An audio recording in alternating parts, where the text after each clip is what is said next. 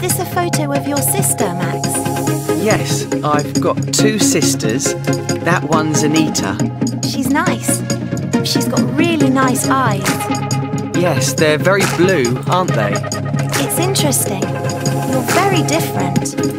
Why has she got blue eyes and fair hair? You've got brown eyes and really dark hair. Well, our parents are different too. My dad's got very dark hair and my mum's blonde. Oh, I see. So, anyway, Jen, what's he like? Who? Your boyfriend, Lewis. Is he tall, dark, and handsome? Well, no. He isn't exactly tall or dark. Isn't he? No, he's quite short and he's got fair hair. Look, that's Lewis over there. Has he got a grey jacket? Yes. And who's that girl with him? Which girl? The girl with curly hair and glasses. The girl with curly hair and glasses. That's Chloe, I think. Chloe. Yes, she's a girl in his class.